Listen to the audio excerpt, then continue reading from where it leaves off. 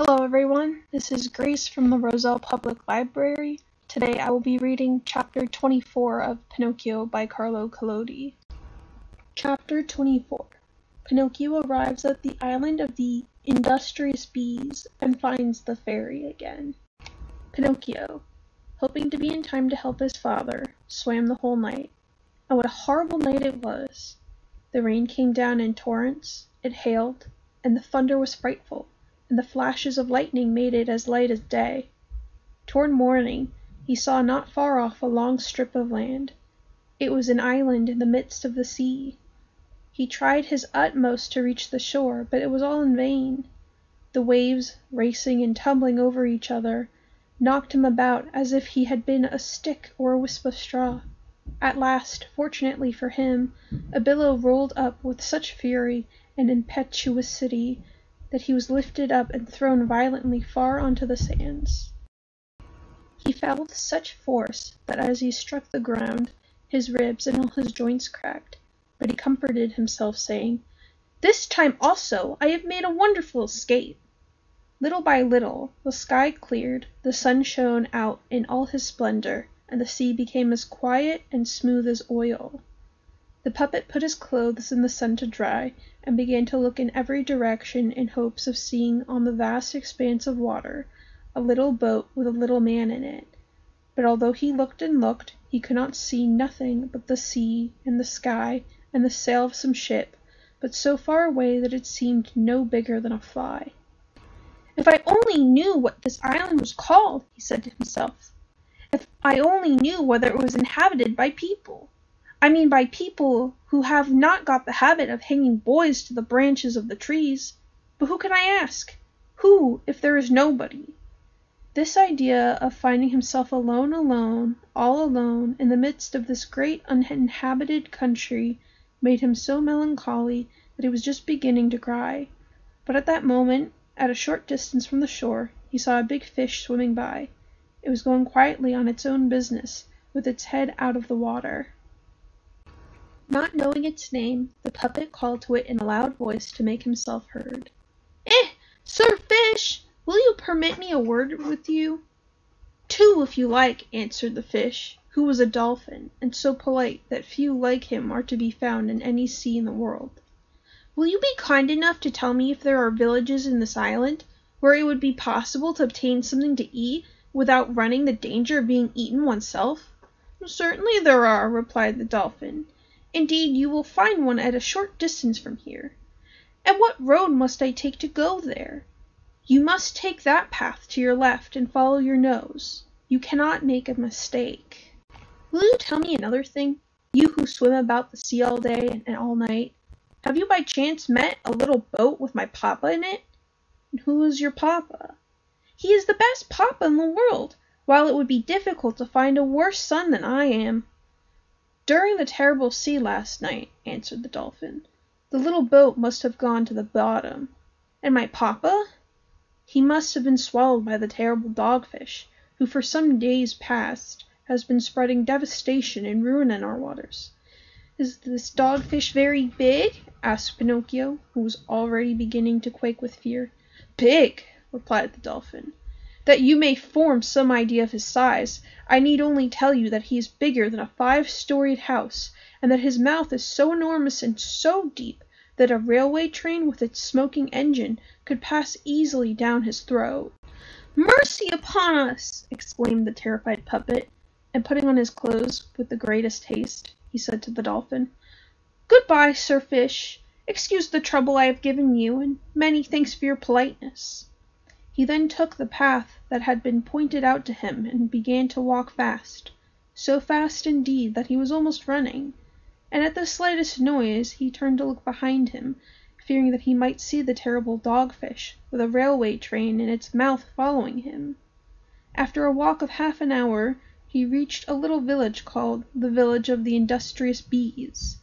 The road was alive with people running here and there to tend their business. All were at work. All had something to do. You could not have found an idler or a vagabond, not even if you had searched for him with a lighted lamp. "Ah!" said that lazy Pinocchio at once. "I see that this village will never suit me.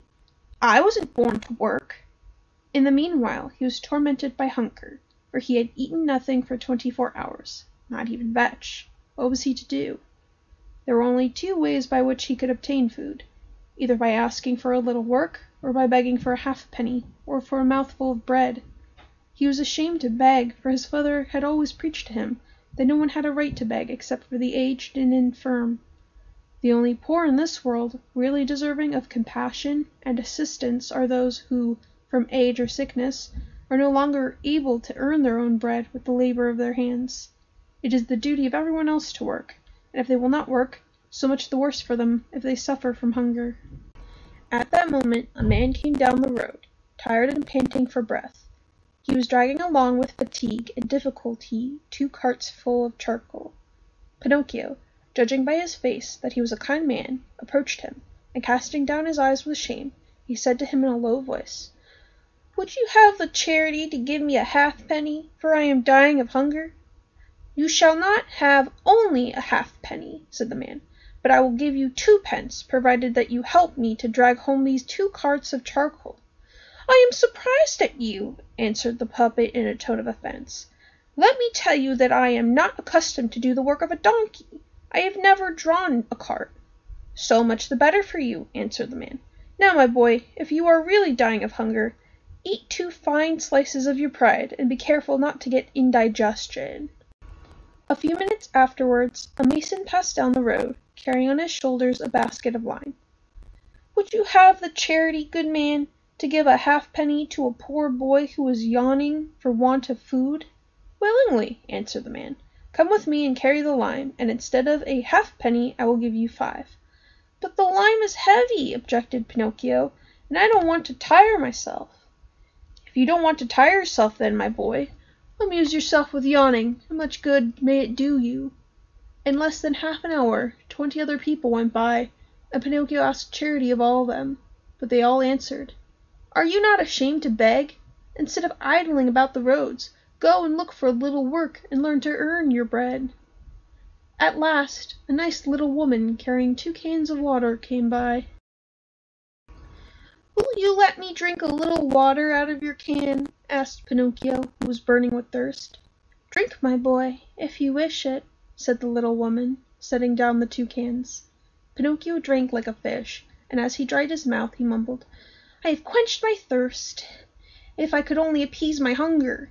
The good woman, hearing these words, said at once: "If you will help me to carry home these two cans of water, I will give you a fine piece of bread."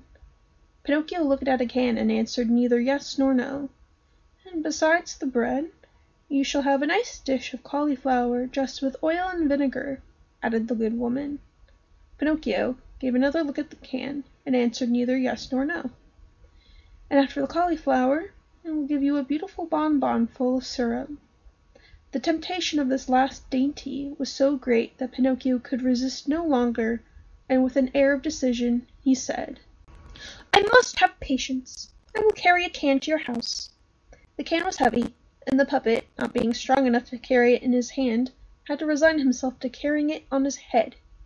When they reached the house the good little woman made Pinocchio sit down at a table already laid and she placed before him the bread, the cauliflower, and the bonbon. Pinocchio did not eat, he devoured. His stomach was like an apartment that had been left empty and uninhabited for five months. When his ravenous hunger was somewhat appeased, he raised his head to thank his benefactress. But he had no sooner looked at her than he gave a prolonged "Oh!" of astonishment and continued staring at her, with wide open eyes, his fork in the air and his mouth full of bread and cauliflower, as if he had been bewitched. "What has surprised you so much?" asked the good woman, laughing. "It is," answered the puppet, "it is it is that you are like that you remind me Yes, yes, yes, the same voice, the same eyes, the same hair. Yes, yes, yes, you also have blue hair as she had. Oh, little fairy! Tell me that it is you, you, really you. Do not make me cry any more, if you knew. I have cried so much, I have suffered so much." And throwing himself at her feet on the floor, Pinocchio embraced the knees of the mysterious little woman and began to cry bitterly.